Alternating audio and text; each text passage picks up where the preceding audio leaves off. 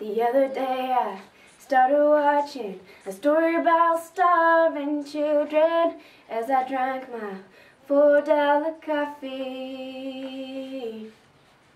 I kind of felt a little guilty looking at the faces on TV. Made me think about how blessed I am.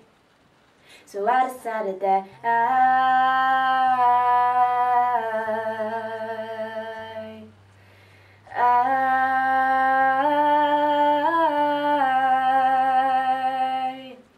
I'm gonna sing a little louder. I'm gonna pray a little harder.